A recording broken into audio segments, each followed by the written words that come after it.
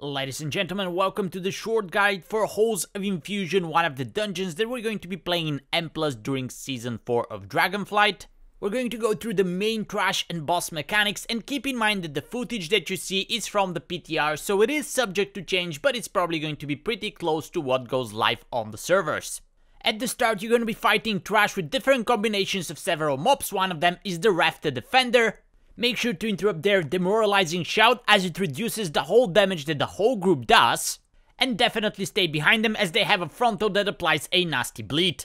The containment apparatuses are these orbs that are going to channel a beam to your target which you cannot interrupt but you can stun. Their target is random and later on you're going to be fighting few of those at the same time and if they target the same person they can take a lot of damage so be prepared to heal and use defensives and make sure to save an interrupt for their expose cast which does heavy AoE damage to the whole party, so you should prioritize interrupting that over the demoralizing shouts. You should also constantly watch your feet as the Gale Monsters are going to jump and do AoE damage in an area, so simply dodge that. After you go through several packs of different sizes containing different combination of these mobs, you're at the first boss, Watcher Irideus. He starts at 30% health and he has a frontal called Titanic Fist, so stay behind him. He's also constantly going to do a channel called Static Surge which does heavy AoE damage to your whole party. So healers be ready with a cooldown for those 6 second windows. His next ability is called Power Overload. He's going to mark two people with debuffs, sticking dots, that they have to run away from the party as when they expire they drop these circles on the ground that do damage so you don't want them on top of your team. And keep in mind that you can dispel these dots, but you should be careful doing so because if you dispel them on top of the boss, the puddles are also going to drop there. The boss also casts Spark Volley, which are just these blue swirlies on the ground that you have to avoid.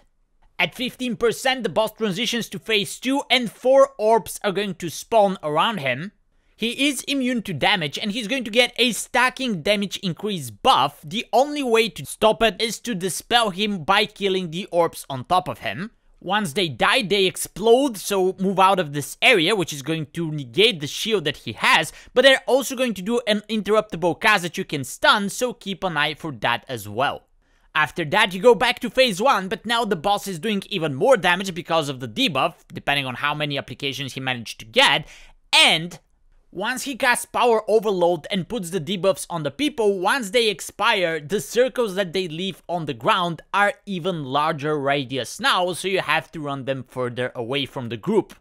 Keep in mind that one of the nice changes right now is that once you drop the circle, it starts small and it expands, which means that you can outrun it and not take much damage from it, which was not the case in the previous iteration of this dungeon. Once you kill the boss, you have a choice of where to go left and right, but you're going to see basically the same trash mob in just different combinations.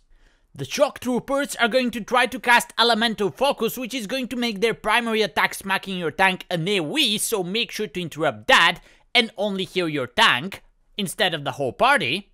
And they usually have some zealots around them, invisible mobs that are going to stun the initial target, so make sure to let your tank run in first. You're also going to encounter small frogs called Curious Swoglets. They fixate a random target and once they hit it, they apply Stacking Poison debuff, which not only you have to heal through, but if it reaches 10 applications, you instantly die.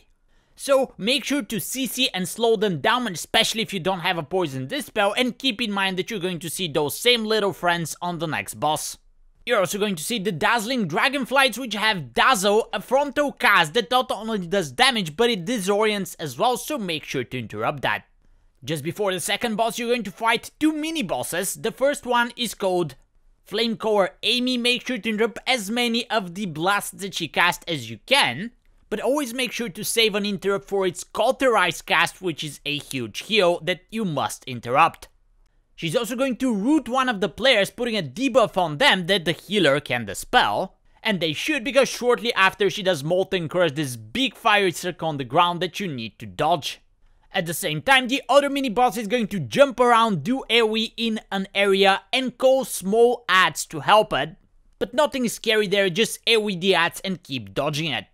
The second boss is the Gulping Goliath, a huge frog that is going to do overpowering Croak, a huge roar that not only does AoE damage, but it also puts swirlies on the ground that you have to dodge, which transform into the curious swoglets that we saw earlier.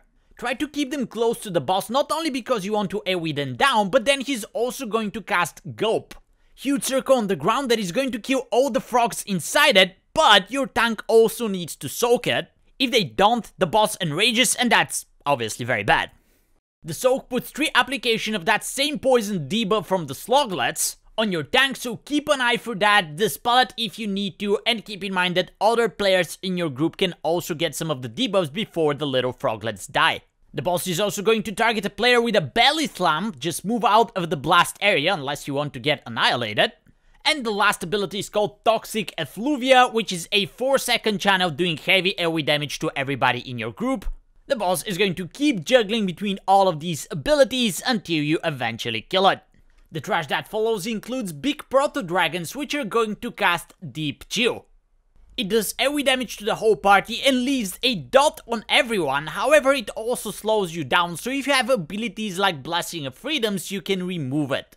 Make sure to take advantage of those, especially on fortified weeks, and then dodge Oceanic Breath, which is a big frontal that the dragon casts.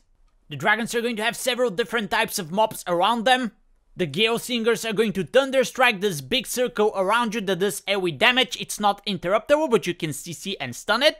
The Icecallers have a heal that you have to interrupt, and the Earthshakers cast this big brown circle around them, which does AoE damage and stun, so make sure to avoid it. Few packs of these and you're at the third boss, Khajin.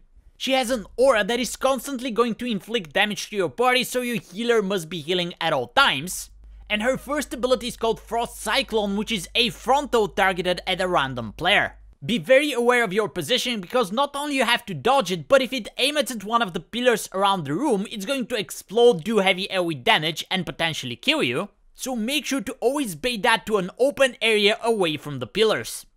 After that, she's going to follow up with a Hailstorm, which is a 7 second cast which ends with a big explosion AoE damage. You can avoid that by just hiding behind one of the pillars. However, be very careful not to hide behind one of the cracked pillars, as they're not going to protect you, but instead they're going to explode and do damage in an area designated now by a blue circle, so make sure to hide behind a healthy pillar which is not in one of the blast radiuses. After the hailstorm is over and hopefully you survived, the boss is going to perform her last ability, which is called Glacial Surge. Circles are going to spawn around the boss and do damage in an area slowly expanding so make sure to move out of those and collapse back on top of the boss to bait the next fronto which is going to follow shortly after and the fight is going to continue going through the sequence of abilities until you kill the boss. What follows is a gauntlet in this narrow corridor with waves coming from the left and the right side. Keep an eye on those because they do a lot of damage and knock you back. In the gauntlet itself, you're going to see some of the mobs that you encountered so far in the dungeon, including the proto-dragons, icecallers, earthshakers, etc. And small aqua ragers are going to keep coming until you complete the gauntlet reaching the far end. These mobs will try to enrage by interruptible cast, but the more important cast to interrupt is Tidal Divergence. If that goes off, the mob splits into several different smaller mobs, which can easily overwhelm you, so make sure you interrupt these. To finish the gauntlet, you have to fight a mini-boss in the end, which is going to cast Inundate. That does heavy AoE damage, especially on fortified weeks, so make sure you do not underestimate this mob. She's also going to cast Flash Flood, big circle on the ground, make sure you're not standing inside, and make sure to interrupt the Aqueous Barrier cast, which puts an Absorb Shield on the boss, which will make it die slower. That will bring you to the last boss, this big Elemental, which is going to cast Tempest Fury, heavy AoE damage to the whole party, and he's going to follow it up with infused globules. He spawns circles on the ground that you need to dodge shortly after they become orbs and the orbs are going to move slightly around, make sure you don't get hit by those. He's also going to cast Squall Buffet, knocking the tank back and following it up with Focus Deluge, which is just a tank buster. Make sure you heal through that if your tank is not using their defensives.